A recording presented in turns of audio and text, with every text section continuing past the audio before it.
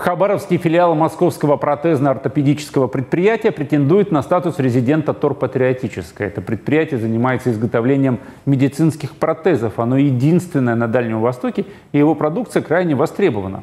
Услугу оказывают и на платной основе, и по госконтракту. Став резидентом Тор, филиал сможет модернизировать производство, повысить качество продукции. Подробности в репортаже Арины Солдатенковой.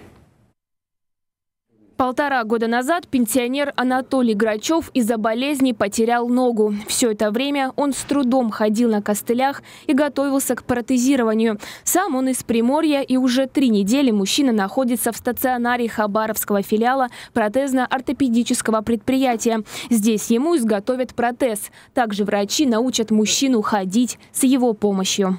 Отличная клиника, скажу. У нас в Приморье такой нету. Хабаровский филиал протезно-ортопедического предприятия старейший на Дальнем Востоке. За помощью сюда приезжают жители из других регионов ДФО и даже с западной части России. Только в этом году протезы конечности здесь получили полторы тысячи человек. Стоимость протеза может варьироваться от 100 тысяч рублей до нескольких миллионов. Все зависит от возможностей пациента и сложности конструкции. Сейчас главная сложность – импортные комплектующие.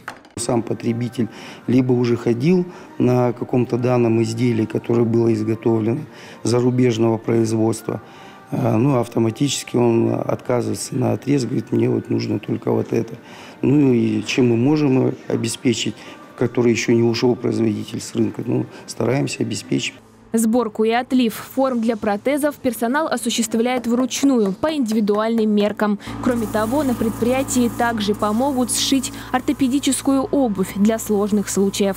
ДЦП, э, отвисающая стопа, отечная стопа, слоновость, компенсация укорочения от 3 до 10-12 сантиметров. Здесь изготавливается. От слепка, колодка, пошив, подошва, полностью выход готового последнее время за консультацией сюда стали обращаться участники СВО. На предприятии ожидают роста заказов, и чтобы повысить качество, руководство решило вступить в ТОР «Патриотическое».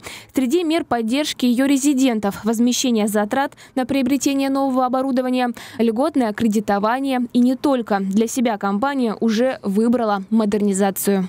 Министерством совместно с предприятием подготовлена заявка.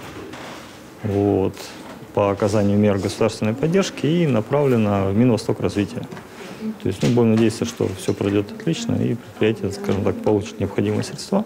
Решение будет объявлено в следующем году. Первым резидентом ТОР «Патриотическая» также стала компания из Хабаровского края. Предприятие, которое производит баги. Алина Солдатенкова, Тимур Новоселов, телеканал «Губерния».